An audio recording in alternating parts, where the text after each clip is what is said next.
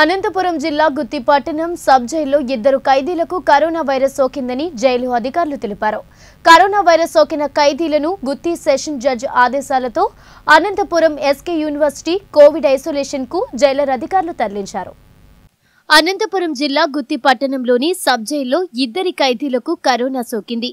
Jailer అధికారులు తెలిపిన వివరాల మేరకు ఈ నెల పదిహేడవ తారీఖున జిల్లాలోని బుక్కరాయ సముద్రం గ్రామంలో అక్రమంగా గుట్కా రవాణా చేస్తుండటంతో పోలీసులు కేసు నమోదు చేసి జిల్లా కోర్టులో హాజరుపరిచారు.